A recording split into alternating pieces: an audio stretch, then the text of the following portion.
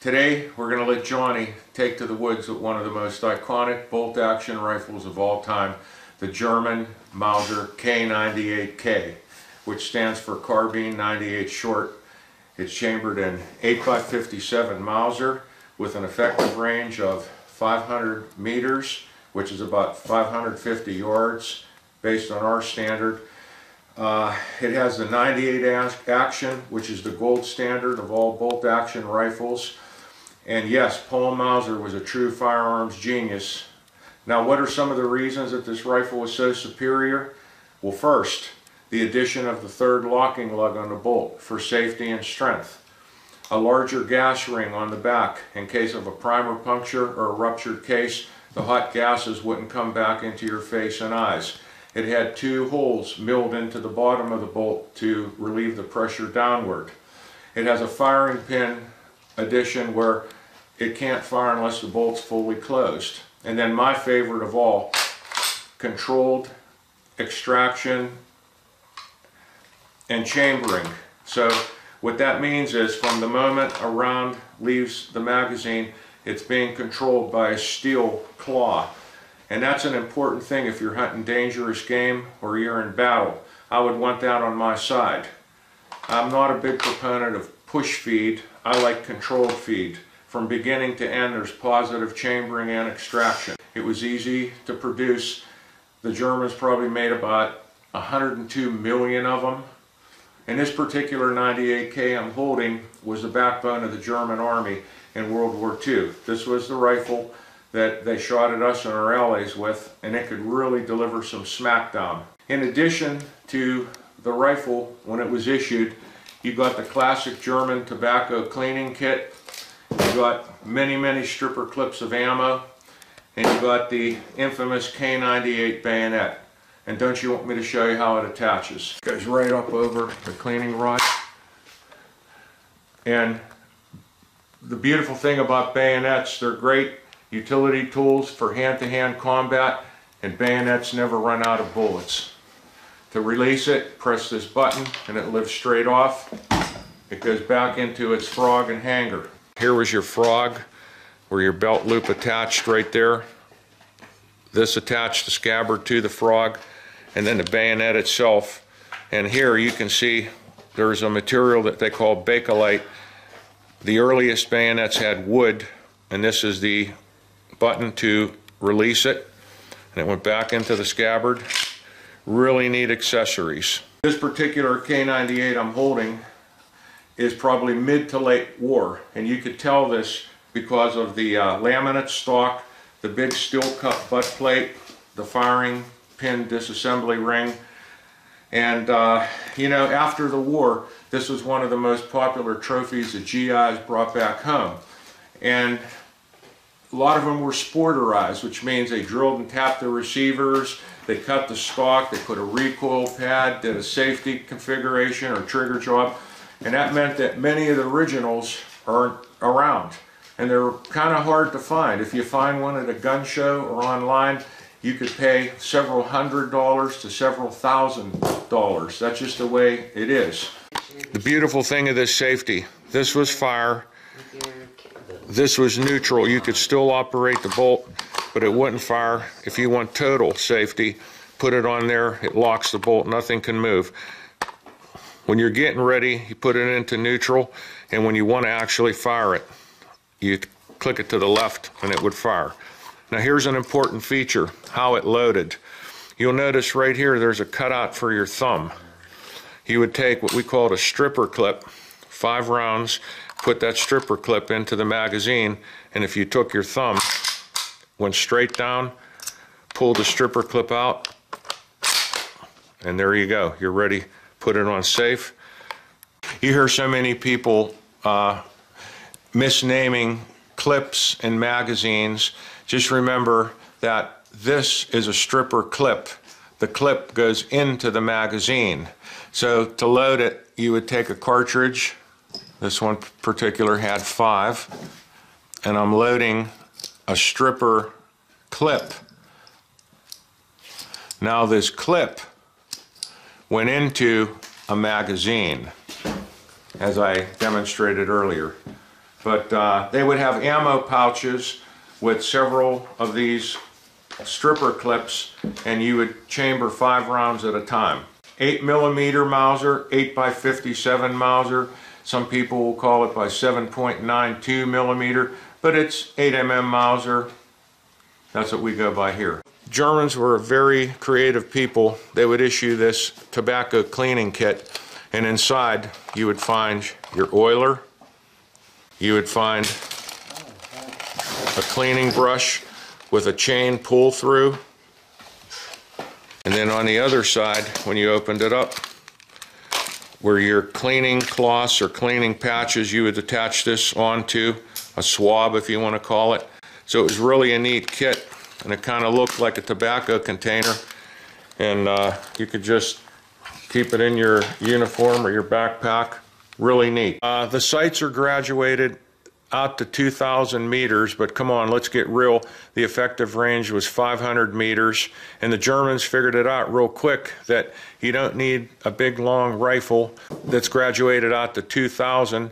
They had a more shorter barrel. Now, if you put a scope on this, it had an effective range of probably a thousand meters, 800 to a thousand meters.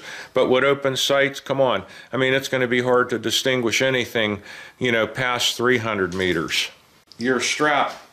It's adjustable and it lays flat on your back unlike, unlike Americans that have the swivels here and there. It was just their design. Uh, this would go and just lay flat on your back like this way.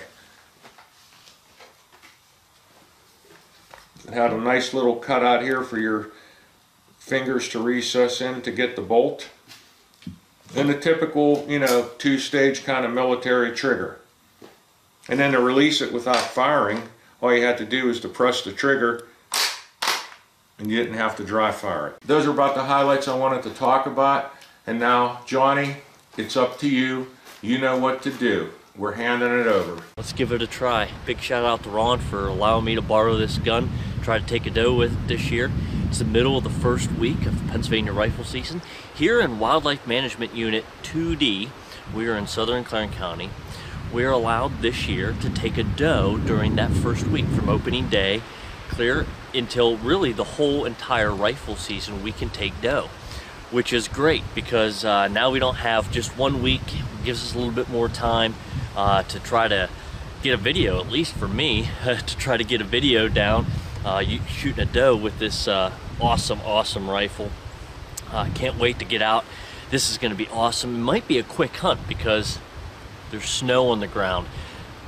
Deer hunter's dream, you have snow on the ground, you can track a buck and everything like that. Hopefully I can sneak through the woods. We still got snow on the branches, which is perfect because then we can find those deer. We can see those deer moving a lot easier, sneak up on them. Uh, and it's just an awesome day right now. We're hovering right around freezing at the moment. It's gonna get a little bit colder tonight. Hopefully the snow holds tomorrow if I don't get a deer today. And uh, let's just go to the woods, into the Pennsylvania woods and see if we can get a deer.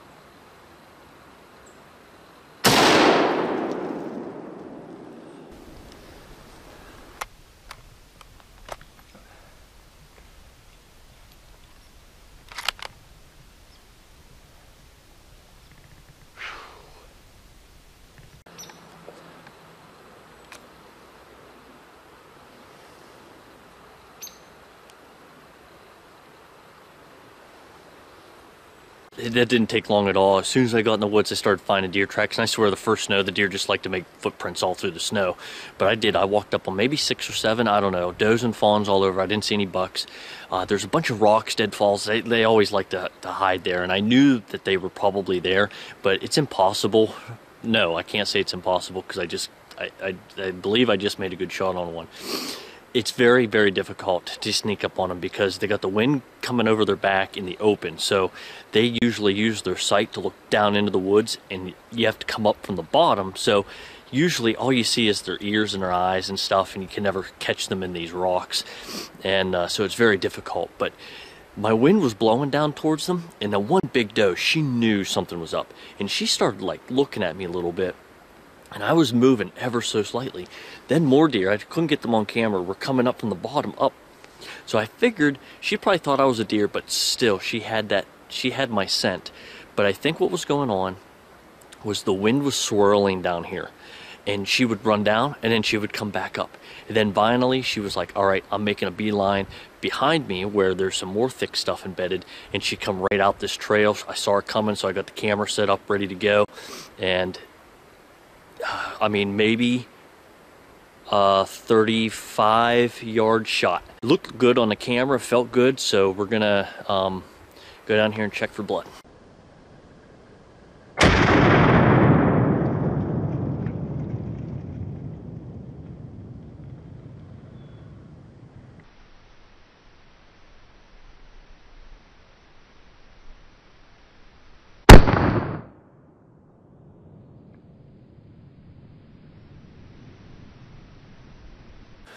Right, I was just right up over that log. She was coming out this deer trail. And right here we got some blood. We got a lot more here. As you can see, there's deer beds all over the place. But when we look out through here, that's what we like to see.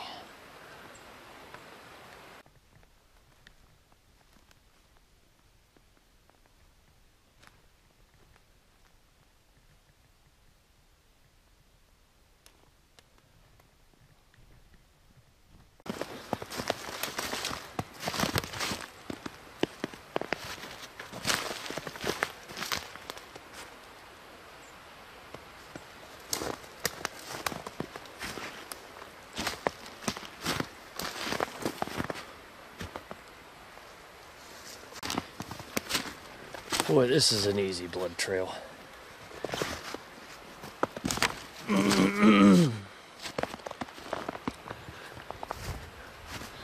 Boy, she is gushing.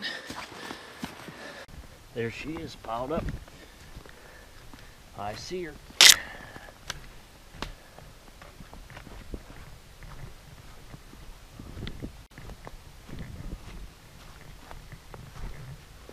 Looks like she crashed into this log right here.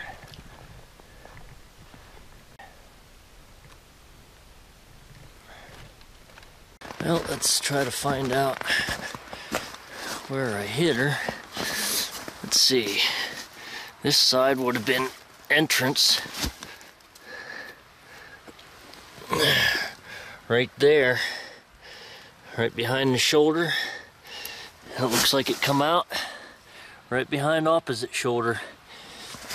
I'm guessing that's gonna be a heart shot. There she is. One big old doe. There's my 2020 rifle season doe. Taken with this German 8mm Mauser. What an awesome hunt. I, I swear I haven't even been in the woods for an hour. It happened that fast. I knew the snow was going to be an advantage, and it, it really helped me out. Uh, really, with the camera too, being able to spot those deer. Um, just want to thank the Lord for blessing me with more meat in the freezer and uh, being able to capture it all on film and making memories. Big thanks to Ron for allowing me to borrow his gun. And uh, oh man, this was such a great day. I uh, haven't had a whole lot of time to hunt this year, but I got a big doe in the early muzzleloader season now doe in the rifle gun season. I still have a buck tag, uh, so I can hunt buck for the rest of the rifle season and then whether I go into late flintlock season, it'll be hard to say this year or not. So there it is.